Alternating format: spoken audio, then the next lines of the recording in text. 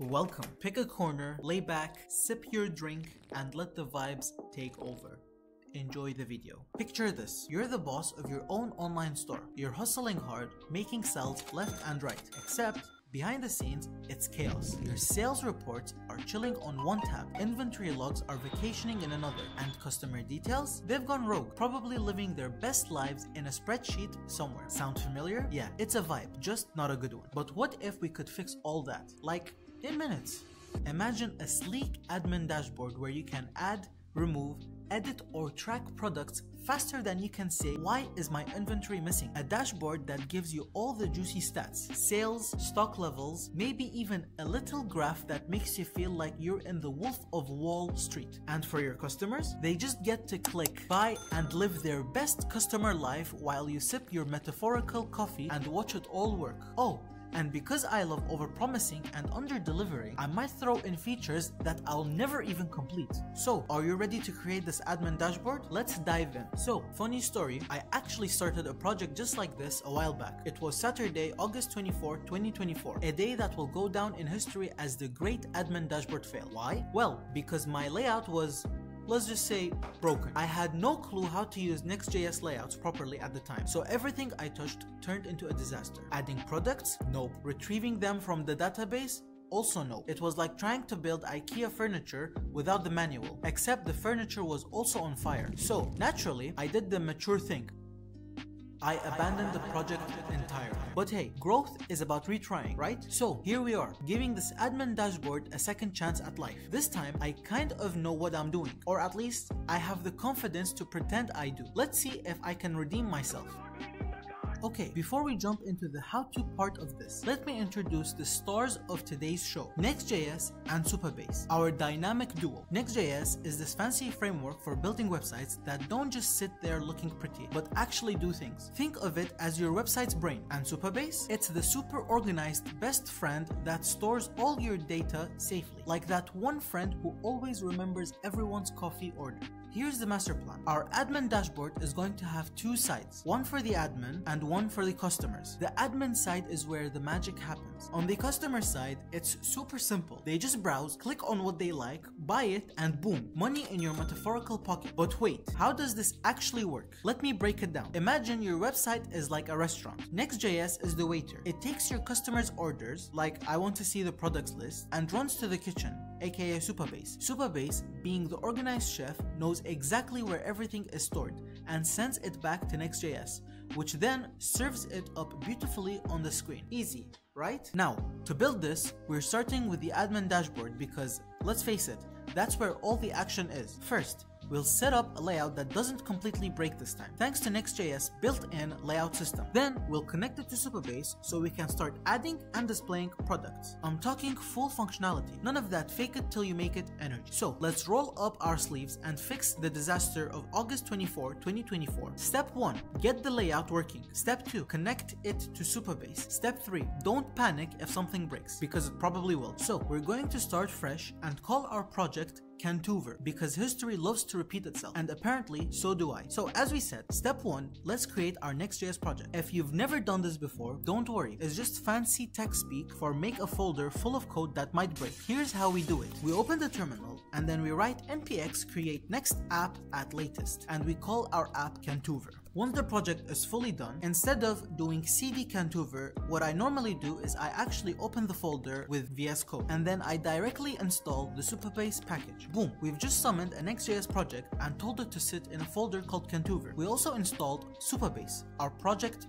BFF. Now, let's set up Supabase itself. Head over to supabase.com, sign in and create a new project. Call it CantuverDB because why stop at one remainder of our past failures? Congratulations, you're now officially connected to Supabase. If you were expecting something cooler, sorry, it's just code, but now the real fun begins. Next, we'll work on creating the layout for the admin dashboard. This is where our poor, broken layout from last year gets a glow up. Let's make sure it actually works this time by using Next.js built-in layout system. Ta-da! We now have a basic layout where our dashboard can live. It's simple, functional, and most importantly, not broken this time. Now, we're starting with the most underrated page ever, the add product page. We've got a clean little form here where you can input the product name, price, and the spicy description. When you hit the add button, it sends the data to our Supabase database. If you try skipping any fields, it will politely yell at you because that's how we roll. Validation is key. And don't worry, if something breaks, we'll show a friendly error message because no one likes guessing what went wrong. Alright,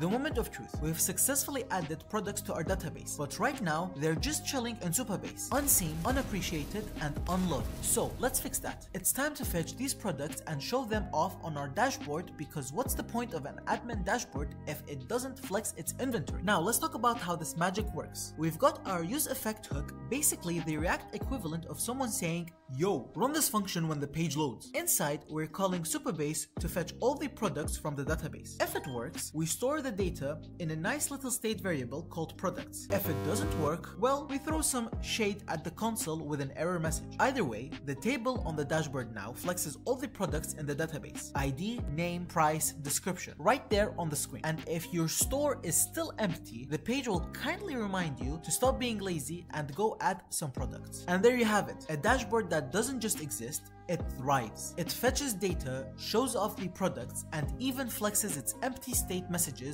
when there's nothing to display. But we're not done yet. Let's kick it up a notch by adding the ability to edit and delete products. Because come on, we're professionals at this. When you click the edit button, we'll take you to the edit page. And for the delete button, let's get rid of them. All of this happens in the backend with the magic of Supabase database. One click and boom, the product disappears. No more, oops, I didn't mean to delete that. Unless you do, in which case, sorry not sorry. Anyways, the edit product page. It's like the add product page, but with more editing. We fetch the product details, display them in a form, and let you update anything you want. Hit update and Supabase takes care of the rest. Oh, and once you're done, we'll whisk you back to the dashboard like the productive admin you are. Customers, welcome to your paradise, the Cantuver homepage. Here, products are just one click away from being yours. Each product gets a nice, cozy buy now button, and when you click it, magic happens. A database entry is made in the sales table. No checkout system here. This is fast and simple and unstable, like your favorite fast food chain.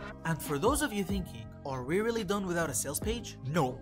I'm not that lazy. Here it is, a simple report showing all the products sold and their quantities. It's straightforward, clean and actually useful. So now you know who's buying what and how much of it. Business intelligence. Now, before you ride off into the sunset, let's take a moment to address the elephant in the room. The features we could have added but didn't, like an option to upload product photos. I mean, what's a product without a picture? A mystery, that's what. But hey, maybe I like the suspense, or maybe I just didn't feel like debugging file uploads today. Who's to say? And let's not forget a dedicated product page for customers. Imagine browsing through beautifully displayed products, complete with prices, descriptions, and maybe even a buy now button that screams capitalism at its finest. Could we have built it?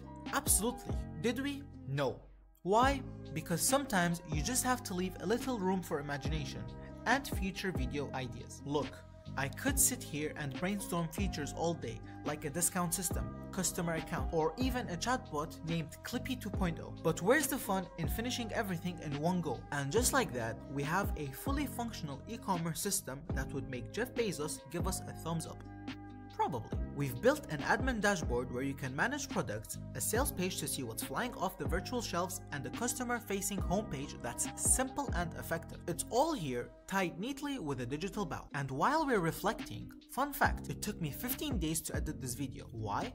Because halfway through, Burnout said, tag, you're it. And I had to spend a week questioning my life choices while binge watching shows I'd already seen twice. But hey, we made it and that's what counts. So, if you've survived watching this, congratulations, you've officially leveled up in patience and perseverance. Don't forget to hit that like button, subscribe, and maybe leave a comment telling me how you'd use this dashboard. Until next time, keep building and keep learning.